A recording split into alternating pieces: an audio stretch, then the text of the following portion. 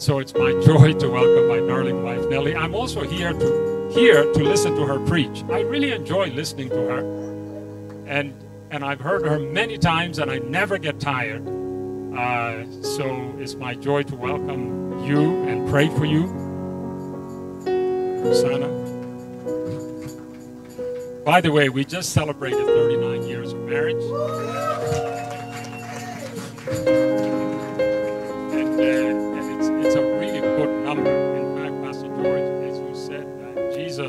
Jesus 39 times. I said to myself, that's. I said to myself, that is not our case. You know, we have had a joyful marriage, 39 years. Uh, I think, you know, we have three children, three grandchildren. And, uh, and so it's really a joy to live with this darling woman. And, uh, and she with me, we tell each other that, by the way. And so every day you have to tell your spouse something about how much she means to you or he means to you. And that's how we build our marriages. We keep the enemy out and we stand strong together. Uh, so anyway, enough said on that. Let me now pray. Our gracious Father, how wonderful you are. What a joy to know that every day you give us your turnarounds. That, Lord, we just have to be patient. We have to listen to you, walk with you. And Lord, because in that turnaround, you're also molding us. You're also shaping us. You're also building up our faith. I think, Lord, of the story of Joseph shared here. How, Lord, you were molding him, preparing him for something greater. And Lord, if he had given up in Potiphar's prison, oh God, what would have happened? But thank you, Lord, that you call us to be patient. You call us to wait on you.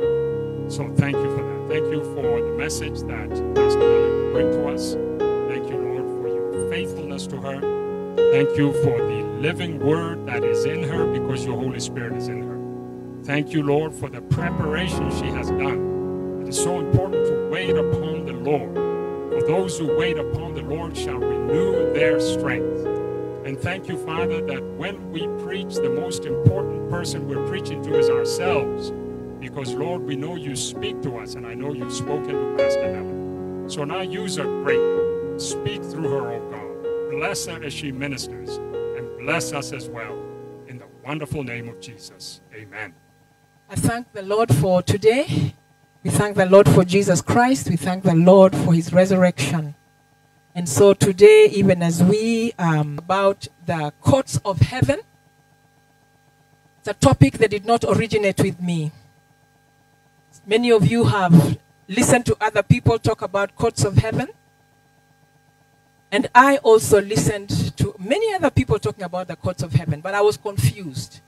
There were so many things that by the end of the teaching on the courts of heaven, I was more confused than I was at the beginning. And I was going to turn away from it when the Lord told me, Mm-mm, I want you to study it and simplify it for the body of Christ. Study it and simplify it for the body of Christ.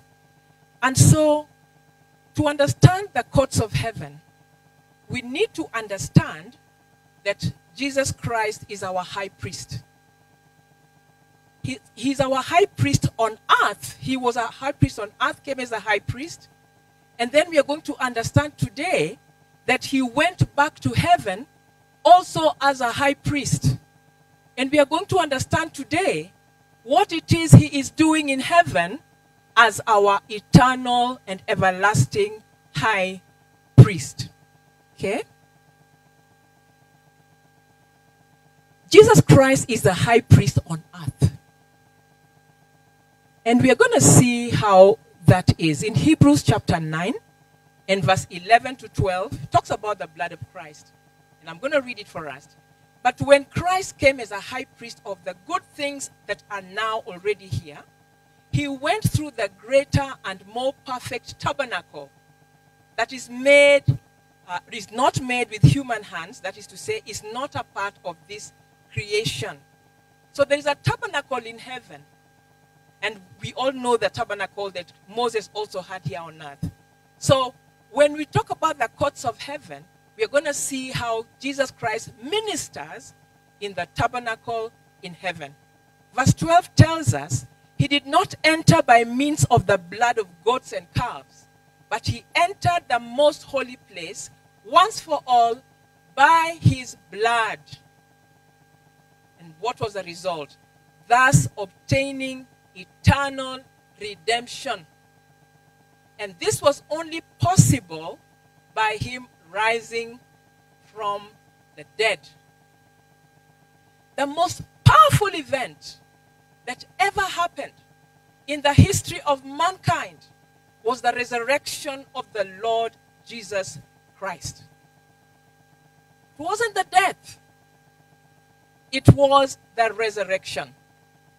In 1 Corinthians chapter 15, verses 17 to 19, this is the New International Version, it says, And if Christ has not been raised, your faith is futile.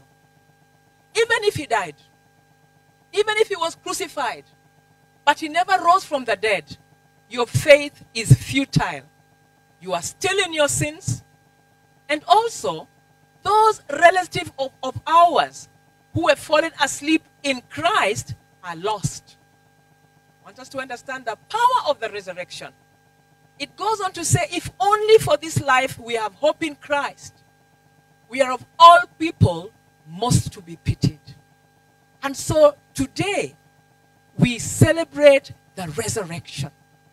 We celebrate the resurrection. The Romans crucified people before Jesus. Jesus was not the first person to be crucified. And even after Jesus was crucified, they continued to crucify people here on earth. Crucifixion was, was the most horrible death that anyone could submit a human being to. And that is what God chose for Jesus Christ. But Jesus' resurrection set him apart from all the people who had succumbed to death through crucifixion over the years, even before he came.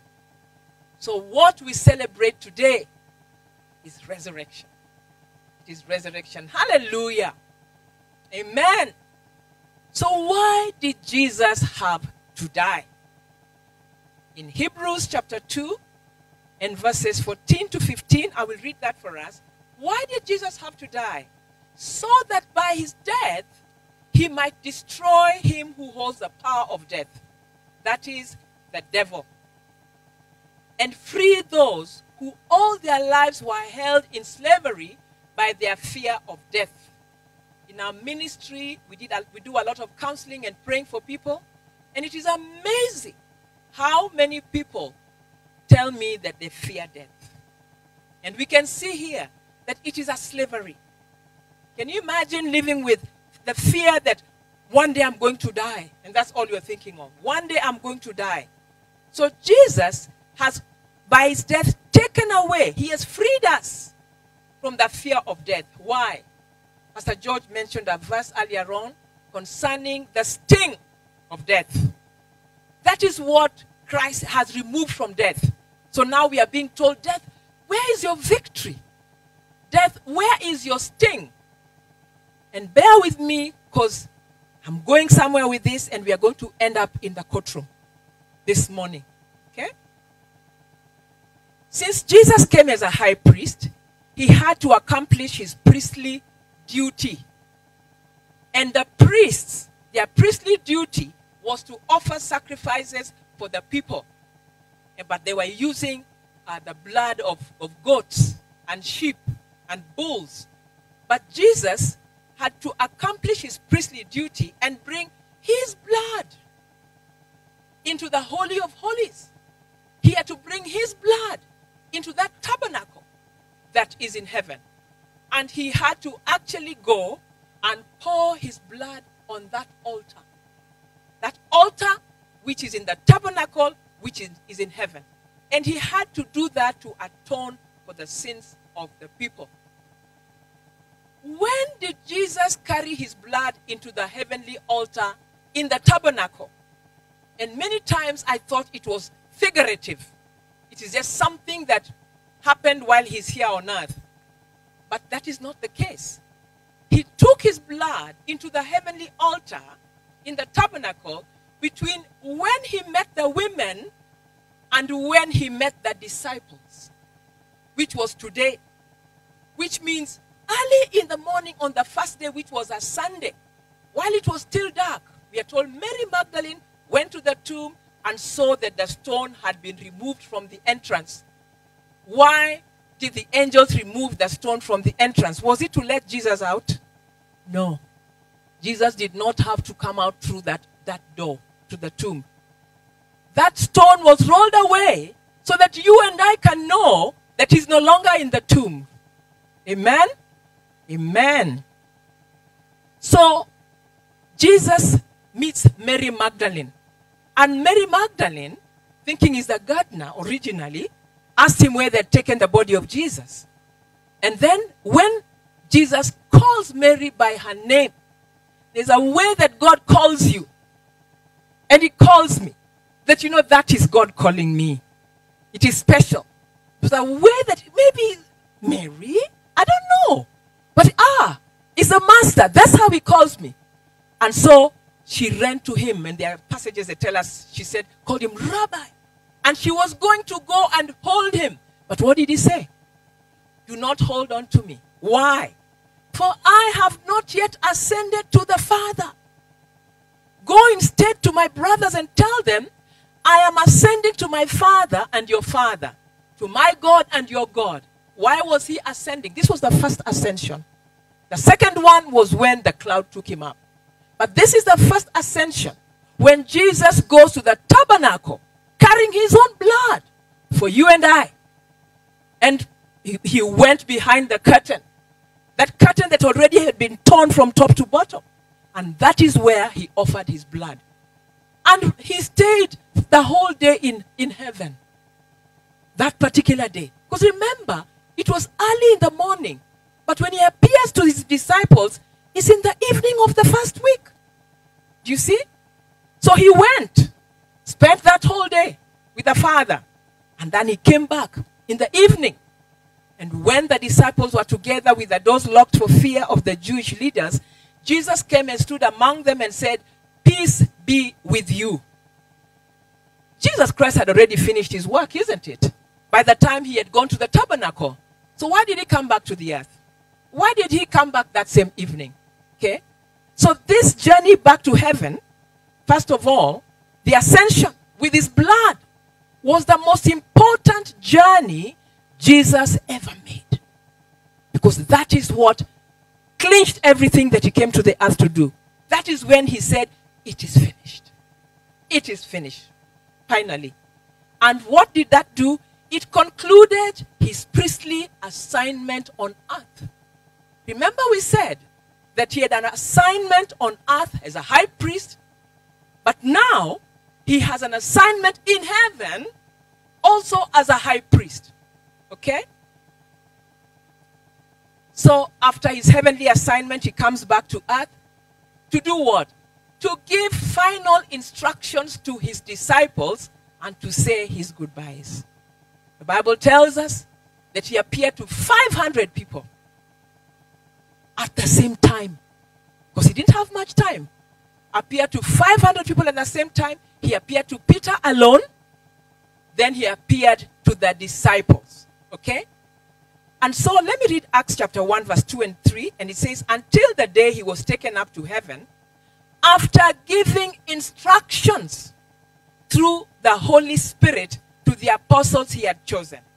After his suffering, he presented himself to them and gave them many convincing proofs that he was alive.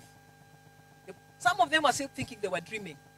But he had to stay here long enough for them to believe he truly rose. How long did he have to stay?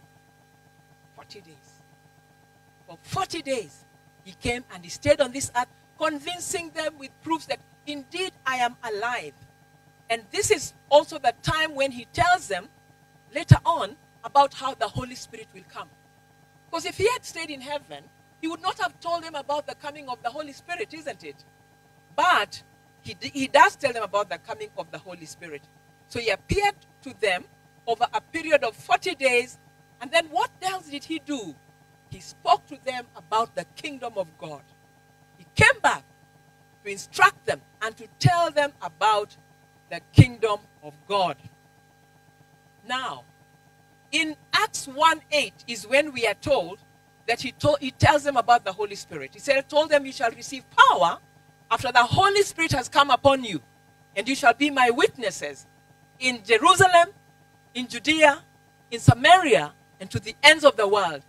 Then, verse 9, after he has told, the last thing that he told them about was the Holy Spirit. Okay? For us to understand how important the Holy Spirit is. He tells them about the Holy Spirit, verse 9. After he said this, he was taken up before their eyes, and a cloud hid him from their sight. Hebrews 4 14 and 16 says,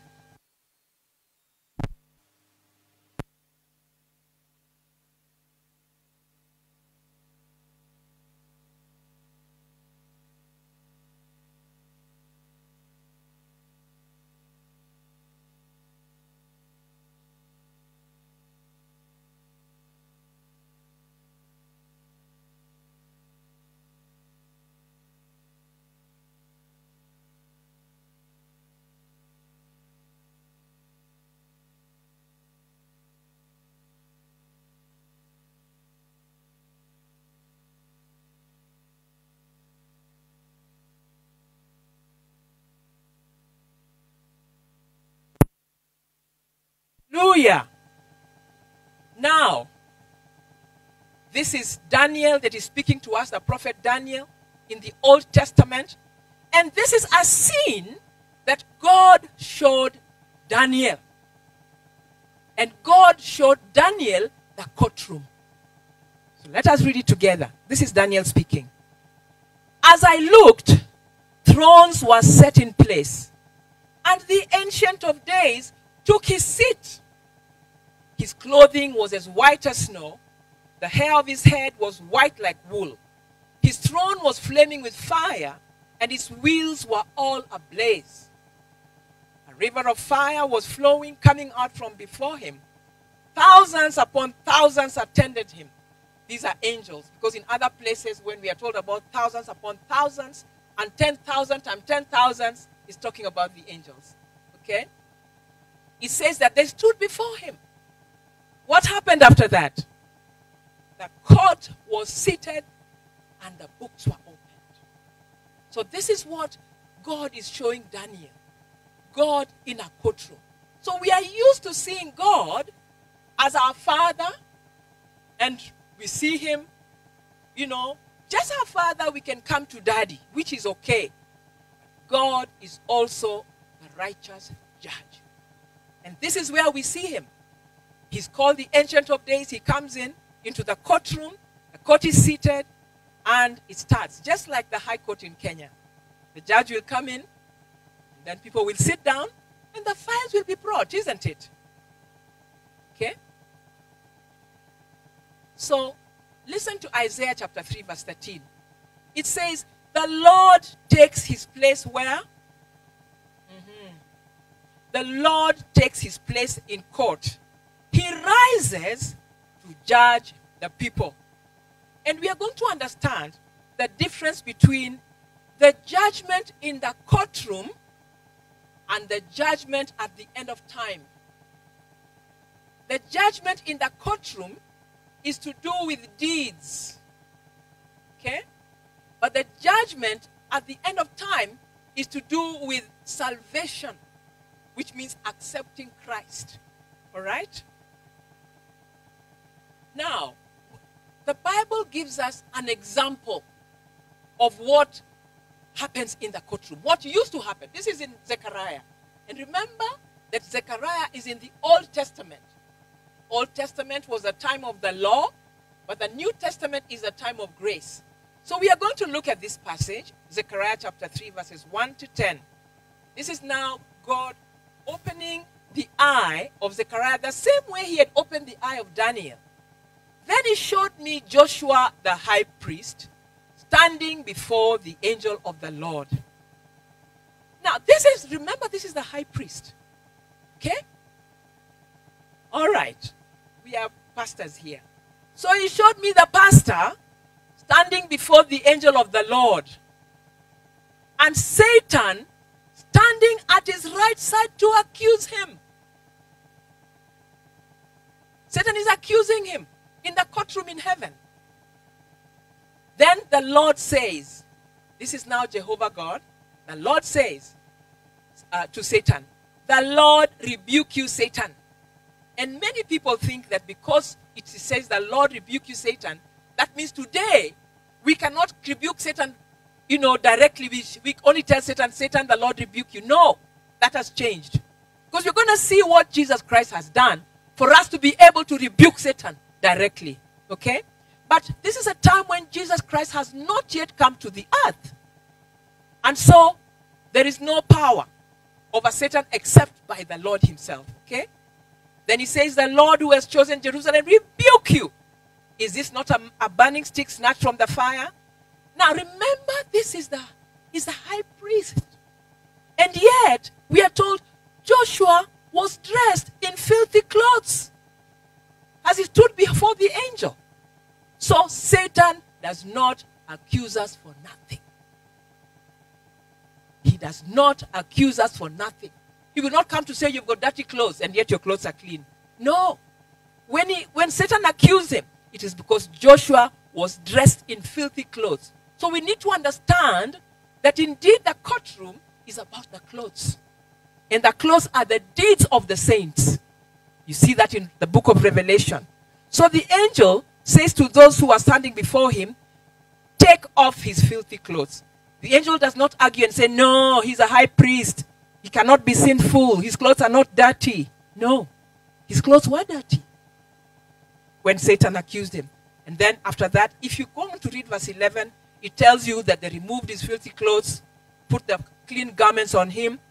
And this is symbolic of how God will deal with his children in the courts of heaven after he sends Jesus to the earth. And in this passage, Jesus is called the branch. And what does Jesus do? If Jesus was there, he would have been, have been the one to put on, put on us the robe of righteousness when we are accused, when we are accused by Satan.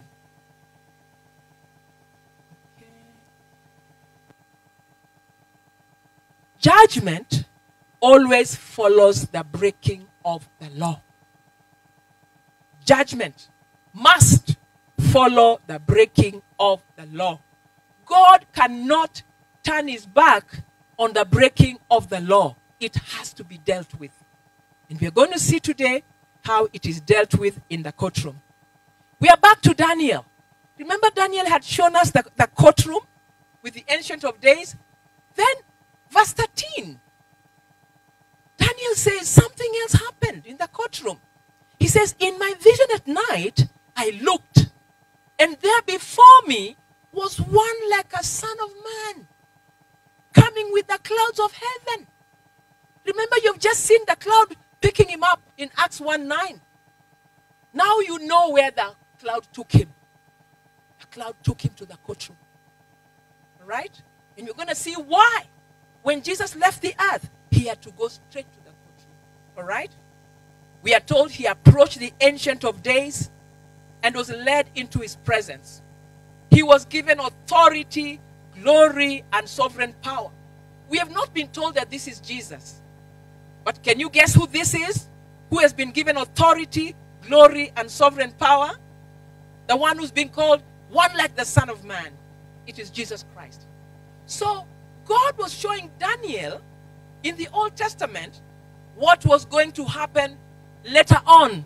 How Jesus was going to come and change everything in the country. Okay? So we are told all peoples, nations, and men of every language worshipped him. His dominion is an everlasting dominion that will not pass away, and his kingdom is one that will never be destroyed. Aren't you and I happy and glad that when he left this earth, he went to the courtroom? You're going to be very, very grateful to Jesus today when we understand the courtroom. And before I continue, let me tell you why I'm even talking about the courtroom, why today we are telling you about the courtroom. It is because there are many Christians who have given their lives to Christ. We know that uh, the Bible has given us all these wonderful promises. We have been told we need to break our generational curses. And God knows we have. We have done that. And we expected that things would be different after that. But we found out that even after breaking the generational curses, there are still some areas in our lives where we still don't have victory. So, what do we do? BBI has done its part, breaking barriers have done their part. I can't keep going back to breaking barriers. And indeed, you can't. Today, you're going to know what is the next step after you have broken your generational curses.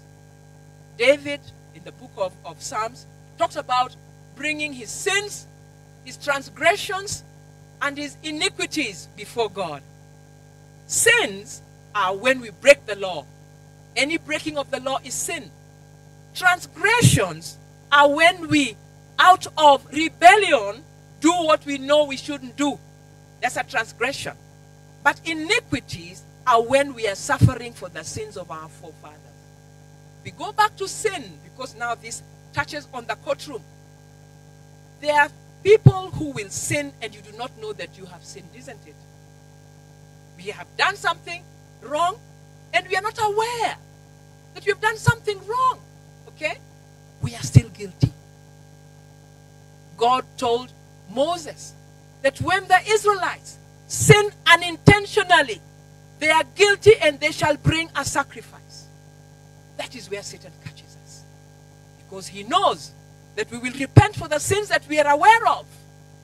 But we will not repent for the sins that we are not aware of. Okay? Are we together so far? I can move on? Okay.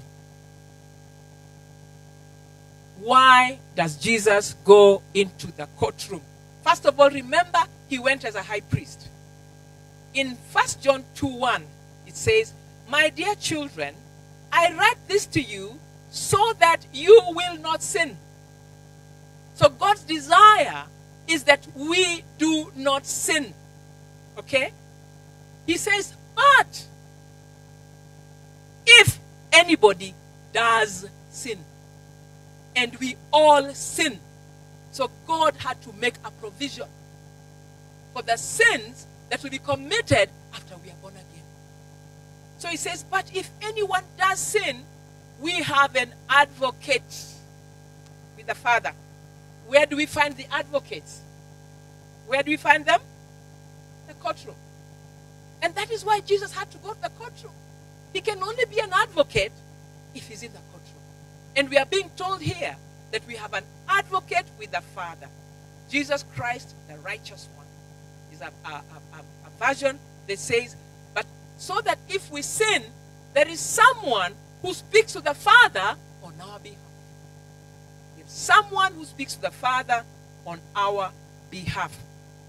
So the Bible presents God as a righteous judge. God, uh, the Bible presents God as a righteous judge. He is called God, the judge of all. God, the judge of all. Okay? So, God's throne, as a righteous judge, is a courtroom with God sitting on his throne to judge. Okay? Listen to what Psalm chapter 7, verse 6 to 8 says. Awake, my God. This is David. Awake, my God. Decree justice. Let the assembled peoples gather around you. Rule over them from on high. Let the Lord judge the peoples. Judge me, O Lord, according to my in, uh, integrity, O Most High. Remember that in the courtroom in heaven, the people were being judged there, the books were there. But here we say we are being told, rule over them from on high, where you are, which means rule over the people on the earth. People on the earth. Okay? What is Satan's aim? We see this in Revelation 12 and verse 10, which says, For the accuser of our brothers and sisters, who accuses them before our God day and night, has been hurled down. In Zechariah, we saw him accusing the high priest. And indeed, the high priest's clothes were dirty. But if the high priest had known that his clothes were dirty, he had, would have done something about it. This is where we talk about the unintentional sins, where our clothes are dirty and we don't know our clothes are dirty. The only time we know they are dirty is when Satan accuses us. Do you see? When he accuses us. God's holiness and justice requires that sin is judged. God has to show justice to Satan when Satan is correct in accusing you and accusing me. God has to give him justice. Otherwise, he ceases to be a holy God. So, God's holiness and justice requires that sin is judged. Okay? And he accuses us in the courtroom.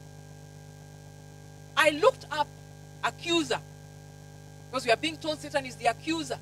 And what does the dictionary say about accuser? It says accuser is one who brings a charge against a person in a court of law. So when Satan is called the accuser, we can see that he brings charges against us in the heavenly courtroom. I don't think he takes it to the high court, the one that is near. Yeah? Hebrews 4:16. We have a standing invitation from God. Satan accuses us in the heavenly courtroom saying that we cannot receive from God because our file is full of sins, transgressions and iniquities. And I've already told you the difference between the sins, the transgressions and the iniquities. But Hebrews 4:16 tells us to come into his throne room with confidence. And he says that is where we find mercy and grace to help us in our time of need. So there is a standing invitation for us. We should never fear the courtroom. He says, once um, we are declared guilty in the courtroom, and I will tell you how you'll be declared guilty in the courtroom. Once we are declared guilty in the courtroom, Satan has a legal right. It's a legal issue.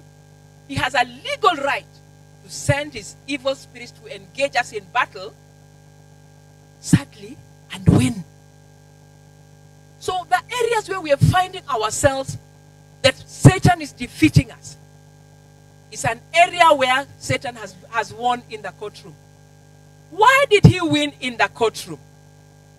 Why did he win in the courtroom? I will tell us that. So, why do we often lose in the battlefield?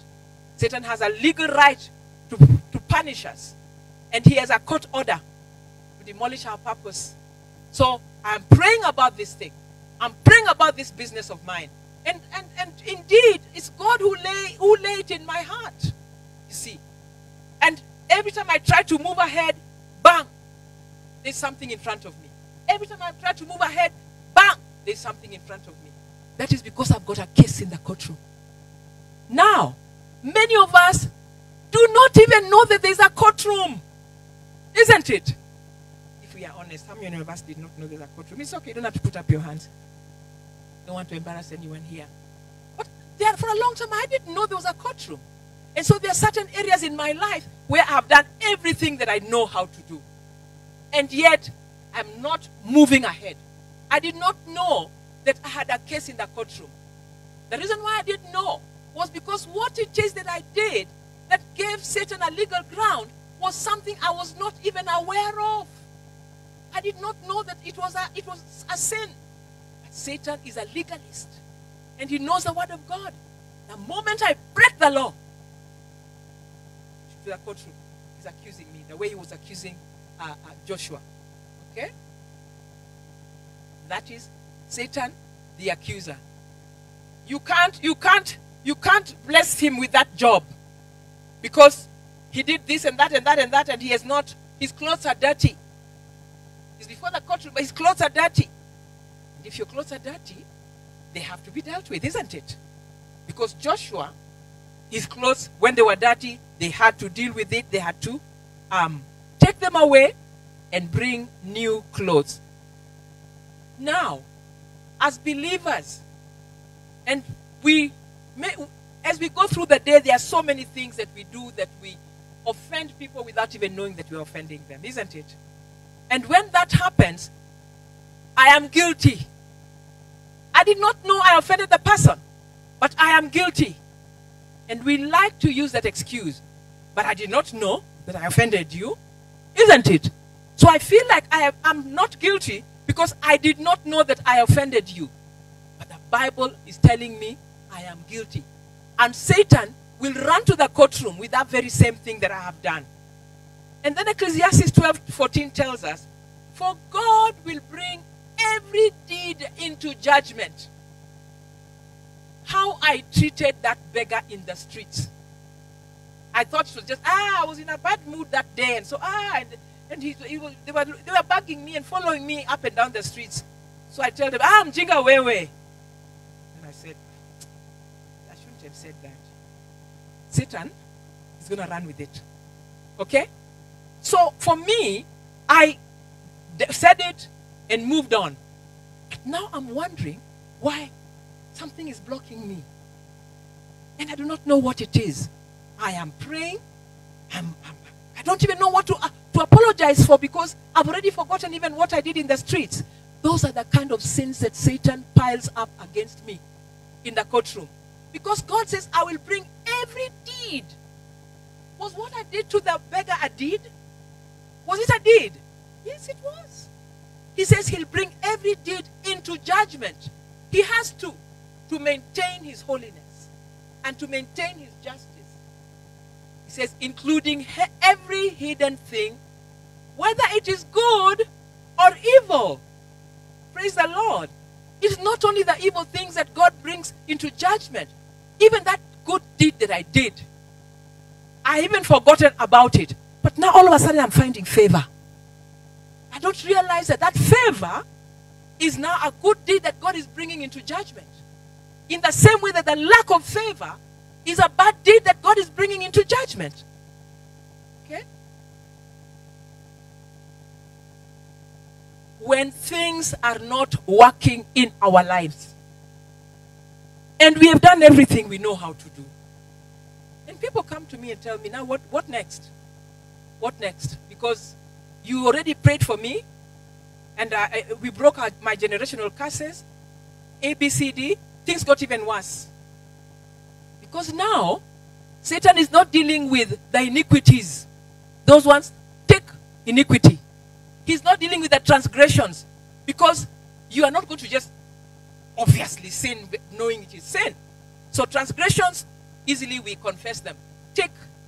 But the sins are divided into two. The known and the unknown. Okay? Let us reason together. You're saying you're innocent. Because these are the times when I can't think of anything wrong that I have done. That I say that I am innocent. Isn't it? So God is saying, okay, come. Let us reason together. Reason? Reason with God? He's saying, yes. Come and reason with me. I'm willing to come and you and hear you. All right? Verse, uh, Isaiah 43, 26. I love this one. God says, okay, let us let us go back and let us one by one, let us see all the things that you're telling me that you have cleared. It's no longer part of your of your of, of your book. Because remember, in the courtroom we saw a book, books were open. Where have those uh, accusations been written? In your book. And that's the book that Satan has run with to the courtroom. So if you open your book, you're going to find things that you didn't know that you were wrong, but that you did. So in the courtroom, I am guilty. All right? So he says, review the past for me. Let us argue the matter together. Can you imagine God telling you that? But let us argue the matter together. Me, you, and argue with you, God. Far be it from me. Isn't it? But he's saying, no. I'm bigger than that. Review the past for me. Let us argue the matter together. State the case of your innocence. So I start saying, um, you see, me, I, I, I, I wake up at 3 a.m. every day and I pray. And even those books, the, the, the, the prayer guides that I use, they cover every area. You know, they start with the mind and they cover it. And then they start with the emotions, they cover it. Then, you know, then when that doesn't work, then I went to a, a different one who now was more enlightened than the one who wrote the first book. Isn't it? So he says, take the case of your innocence. Now, although God is telling us all this, you know very well that him as a righteous judge, I cannot go and argue with him. Although he's telling me, yeah, come and argue with me. But we all know that it is a lawyer who represents you in court. It is the advocate who represents you in court. And we have already been told that we have an advocate. It is Jesus Christ. And he has gone up as a high priest and an advocate for us. Okay? It is no different with what a humble God. No wonder when he tells us to be humble, he's humble first. That he would allow us who are, first of all, the earth is a dot in the universe, and you are a dot on the earth. And he's telling you, come and present your case, come and argue with me. He's even allowing Jesus Christ to come and speak to him on your behalf. Because Jesus Christ has said, when you sin, we have an advocate. Not when you are doing well, you have an advocate. No. When you sin. How blessed are we? How blessed are we with this Jesus who has gone into the heavens for us? We are blessed. We are blessed. So, when things go wrong in our lives, the fault is not with God. Okay? Because Jesus is in the courtroom. He's there. You saw where the where the, the cloud took him to the courtroom as an advocate. And he's there to plead our case before the Father on the basis of the blood he shed for our sins. So we look at these three verses. The first one is Hebrews 7:27, which says he sacrificed for their sins once for all when he offered himself. All right? Then the second verse is Hebrews 7:22, which says, in fact, the law requires that nearly everything be cleansed with blood. And without the shedding of blood, there is no forgiveness. There is no way I can tell God to forgive me without mentioning the blood of Jesus. No way. God cannot forgive you of anything other than that you come through the blood of Jesus. Because you have to be cleansed through the blood.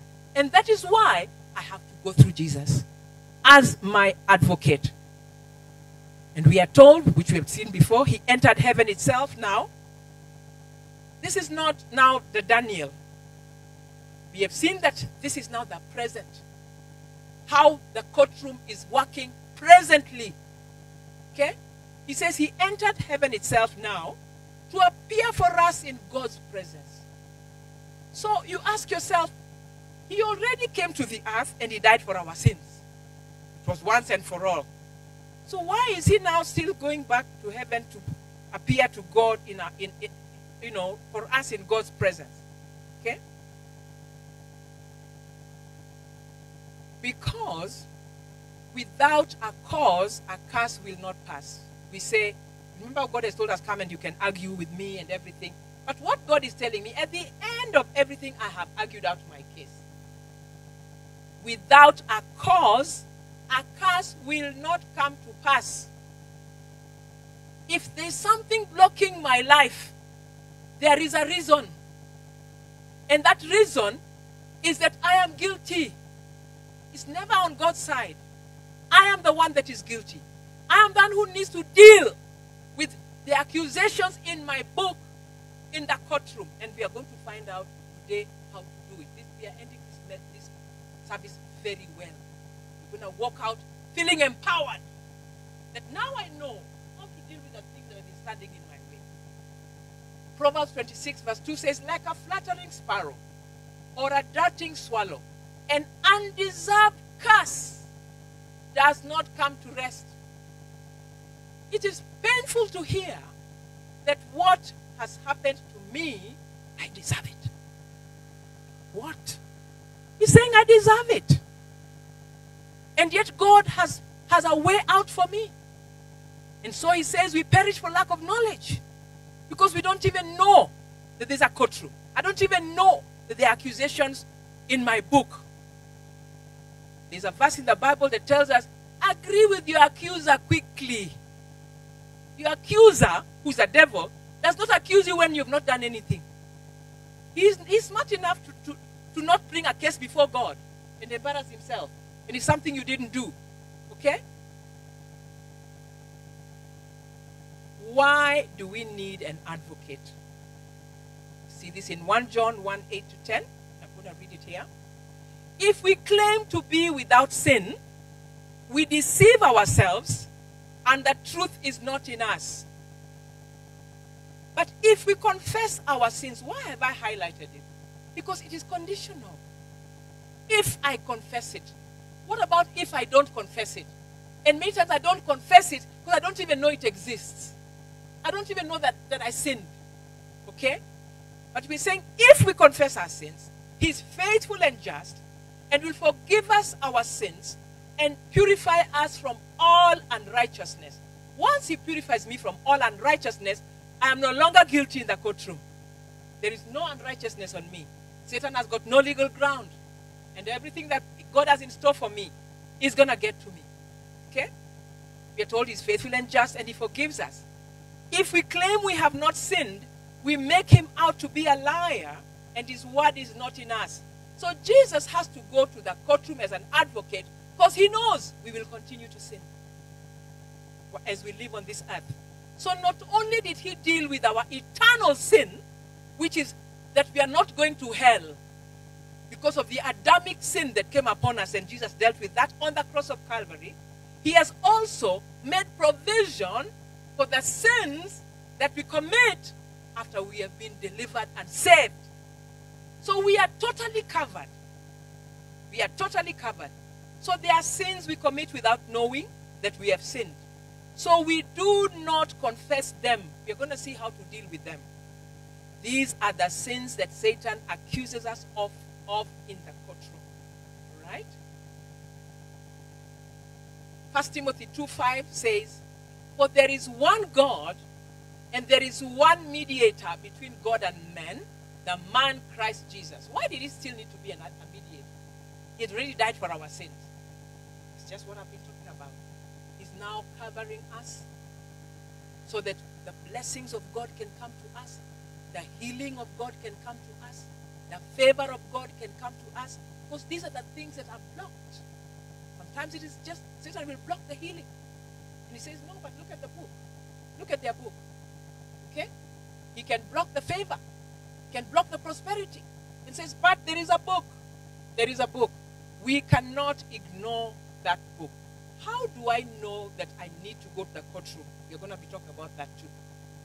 We need to understand that there is favor in the courtroom. The courtroom in heaven always works in your favor. The minute you walk in, you've already won. Our problem is that we never walked in.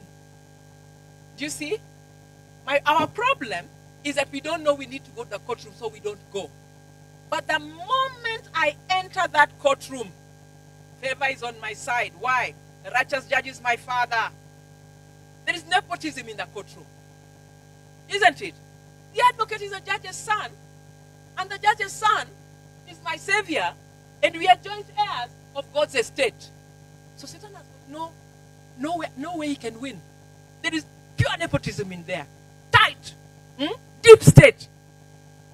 Yeah? He cannot. I always win in the courtroom. But I cannot win if I do not go to court. So that area where you, why is it that anytime I try to do this, I fail? Because it's a case in the courtroom. But do I do I need to know what is in my book in order for me to confess? No. What do I need to do? This is now the um, courtroom protocol. The courtroom protocol. And it is very important to know because this is the crux of today's message. It's for, how, for you to know how to go to the courtroom, isn't it? This is the uh, courtroom procedure and protocol. Right? It is exactly the same procedure that is at the High Court in Kenya. Number one, when you walk in, bow. Isn't it you honor the judge? You go to sit down. So the first thing that I do is that I honor the righteous judge. Okay? How do I honor the righteous judge? I just worship him. I acknowledge that he is the King of heaven. Acknowledge that his throne is truly founded on justice and righteousness. I acknowledge that he sits above the circle of the earth and he rules. Just, just acknowledge him. Why do I acknowledge Jesus? Jesus needs the highest acknowledgement. He's the only reason I'm going to win that. I, I win that court case. His presence there is what has caused, will cause me to, to win my case. Why? Because there is no sin on this earth that his blood cannot wash. In Isaiah 118, what does it tell us? Though your sins are like scarlet, although they're like crimson, they'll be white as wool, they'll be white as snow. I can murder a hundred people. Okay? But the blood of Jesus can wash that sin from me. Blood of Jesus, there is nothing that the blood of Jesus cannot wash. So I honor Jesus and thank him.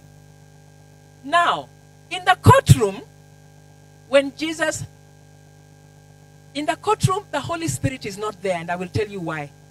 He was there when Jesus was coming with a cloud. But Jesus told us, if I don't go, I will not send him back.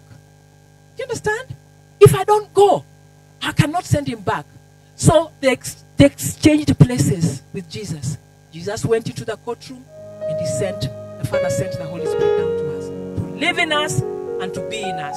Now it is the Holy Spirit who convicts of sin, isn't it? So there are many times when the Holy Spirit will be convicting you of something and you, you can't even put your hand on it. You just, it's just like a, a cloud over your heart, isn't it? It's time to go to the courtroom.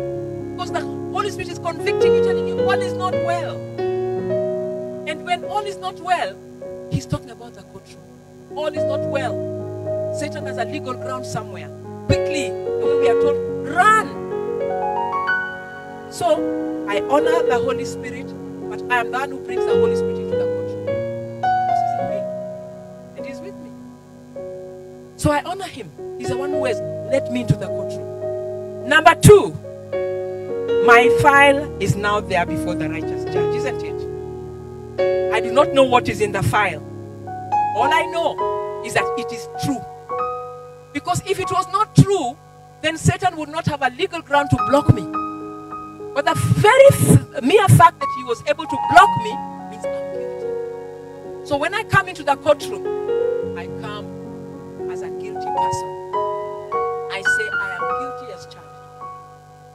Come to the courtroom, don't go and start arguing. Some of us will have to argue even in the courtroom. We carry that argument with the Spirit. No. When I go to the courtroom, I am guilty as charged. That is why every time I try to, to you know, every I, I- can't even pay my children's school fees. I can't, and yet the, the word of God has told me that you know He will give me according to His riches and glory. I've memorized that verse, and it's not working. I'm guilty as charged, Lord. I realize now. But I have an advocate. Righteous judge, I have an advocate. That is point number three. I call upon the advocate to plead my case. I don't try to plead my case before God. I call upon the advocate, Lord Jesus, I am guilty. There are sins in there in my book which I don't know, but you know them. You can see what they are. So wash my book. I am guilty as judge. Cleanse me. It's true. I am guilty. He will always cleanse us. There's no time when Jesus will say, No, no, no, no, my blood. hmm, That one is too much. Never. Never. Isn't it? So he will cleanse my book. And he will cleanse the sins that are in my book with his blood. Now, see, I, my, I'm now no longer unrighteous. Because now I am righteous in Christ. He has clothed me with, with a robe of righteousness. Now, I ask the judge for a verdict of not guilty. I don't just walk away, but now he's cleansed my sins. There was a verdict of guilty. It has to be overturned. Sometimes you walk away before it's overturned. The judge has to overturn. So I ask the judge for a verdict of not guilty. And of course, I'll get that verdict because I'm not guilty. Jesus Christ has washed me in his blood. Five, I thank the judge for that verdict. Okay? After that, number six is when I make my petitions. But many of us, we come to God and go straight to number six. Straight. Oh, you know, this is not working, and that is not working, and that is not working. And Satan is very happy when I just run to number six. I don't go to number six, I start with number one. And I come down to number six. Now I can make my petitions. All my petitions will be granted according to God's will. Okay? According to God's will. All my petitions are going to be, be uh, granted. Do I leave at that point, say, all is well, I can now leave the courtroom and go? No. No.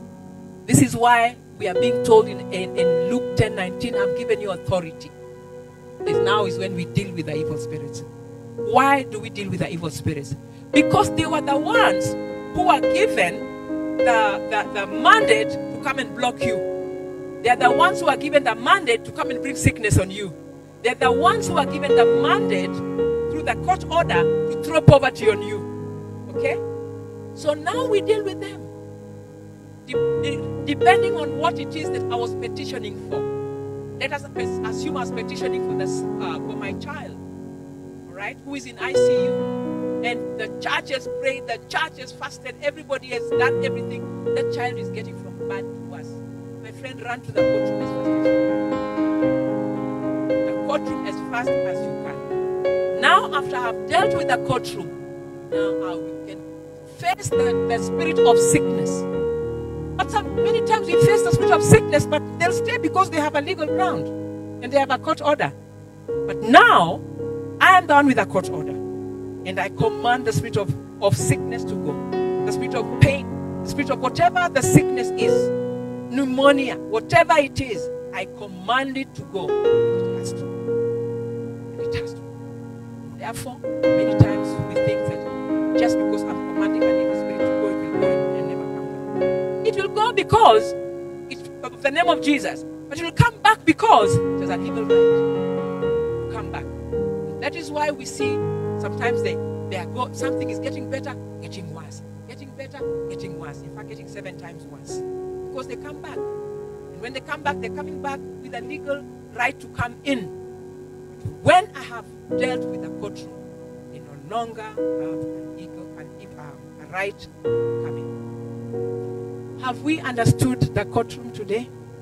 We have understood the courtroom. Maybe can us just stand up on our feet and just thank the Lord. Easter now has a, a different meaning. The Passover has a different meaning for us because we know that it, it is His rising and going up uh, uh up to heaven today that that um 40 days from today, yeah? Yeah. That has made us able to win in the courtroom. So go ahead and pray. Just thank the Lord. Thank the Lord for, for, for Easter. Thank that for the Passover. Thank Jesus for his blood that speaks over us. We are told that the sprinkled blood speaks a better word than the blood of Abel. So whenever I come to confess, I always use the sprinkled blood. I say, Father, let me sprinkle me with the blood of Jesus so that the blood of Jesus, the sprinkled blood, can speak a better word over my life, over my situation, over my business, over my health. Just thank Him. Father, we just want to thank you. We thank you that you sent Jesus Christ as a high priest for us. And today He's our high priest who is in heaven.